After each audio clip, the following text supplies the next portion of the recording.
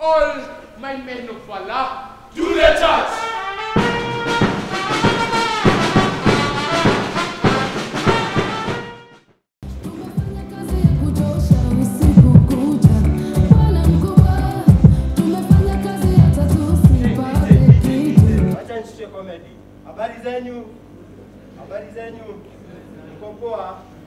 Unajua nilikuja kugundua kuna tofauti kubwa sana ya mtoto amezaliwa huko Nairobi na sio huku kijijini. Yaani lifestyle yao, venye wao hukula, venye wao fikiria. Kwa mfano, mtoto wa Nairobi akikidnapiwa inakuanga virahisi sana. Wanamchukua, wanampeleka kwa room. Alafu kumtesa ni kumpea chai aina sukari, mkate bila bluebird. Unaona? Hivyo tu. Alafu kuja upande mwingine wa studio huko kijijini. Kazini yangu waliangukia hao makidnappers, wakamchukua, wakampeleka kwa room. Mahali tu alikosea ni chakula. Asubuhi breakfast wanampea mkate, pizza, mayai. Mpaka by saa saba ikifika hivyo, kazini yangu walikuwa wanaita hao makidnappers daddy. Alafu akiitishwa namba ya mamake alikuwa anapeana hadi wrong number. Wakati walipigia mamake, kazini yangu mpaka analia. Mamake akamuuliza, "Kinodia nini shida?" Ni furaha mam. Furaha ya nini? hii? Ni vile huku tunakula vizuri. Eh, kwani mnakula nini? Hii asubuhi anatupea chai ya maziwa, mayai, pizza, hiyo. Eh, babake akamwambia, "Hebu hapa makinapa simu." Kinapa na nikuulize na si kwa ubaya. Mbona wa mkidnapo wa mama? Alafu nikija kugundua Nairobi watoto wanakuanga very smart, yani intelligent. Ndio wakidanganya wazazi wao, wanadanganya kitu ina make sense. Tunaona mtoto anaenda kwa mamake. Aki mom, you can believe what Jeremy did to me. He pinched me, he locked me in my room, he locked the fridge. Imagine having chicken yogurt for the whole day. Naona ni kitu ina make sense. Uje pande mwingine wa studio. Tukidanganya, tunadanganya kitu ina make sense. Juu hatuna akili. Kabra zangu walienda kudanganya mamangu, wakaenda kwa mamangu. Aki mama, wezi amini venye Kinodhi alinifanyia. Kinodhi alinichapa, nikaanza kusoti damu kama Mesaya nikaanza kunosplit damu kwa macho, akakuja akachota hiyo damu na besi na akapelekea ng'ombe, alafu akakuja akaniua, alafu akaenda akaiba 2 million chini ya kitanda yako, ndio nimefufuka.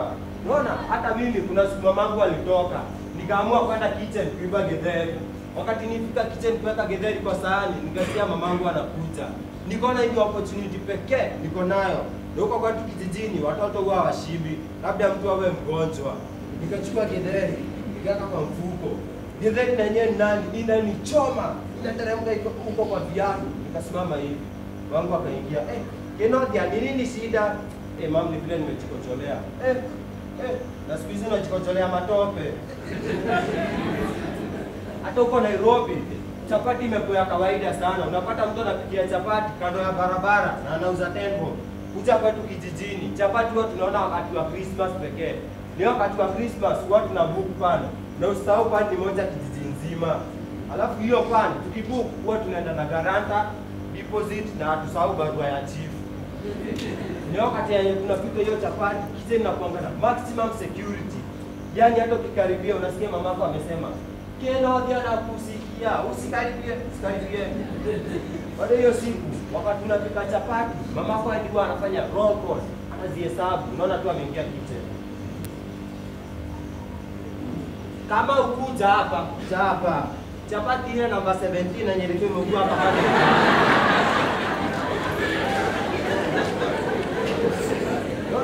huko Nairobi mtoto akipewa dawa anapewa dawa either na yogurt ama soda, na anaambiwa Jeremy, after taking either the yogurt or the, or the medicine, take either the yogurt or the soda.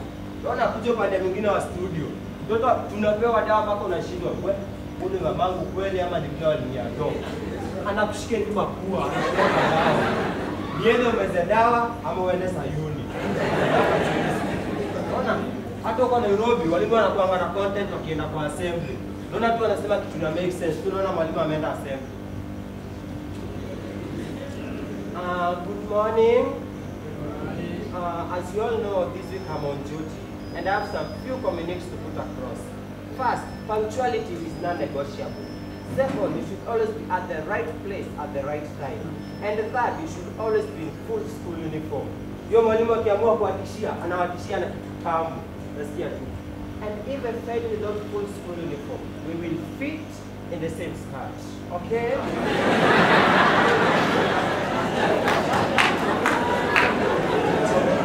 Naona wako na content. Ndio kwenye mwingine wa studio. Walimu hawakuangi na content. Kitu tu wako nayo ni confidence. Tunaona walimu wanaenda assembly.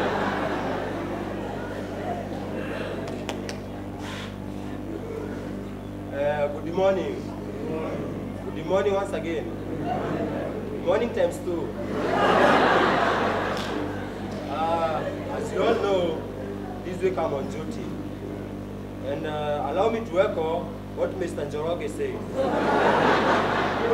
that you should always be in class early. Also, allow me to echo what Mr. Inogia echoed. That you should always be at the right place at the right time. Also, as I'm concluding, allow me to echo what our deputy principal echoed. That you should always be in full school uniform. Also, as I'm concluding the last thing, allow me to echo what I echoed last week. Thank you. All my men of falar, do the church.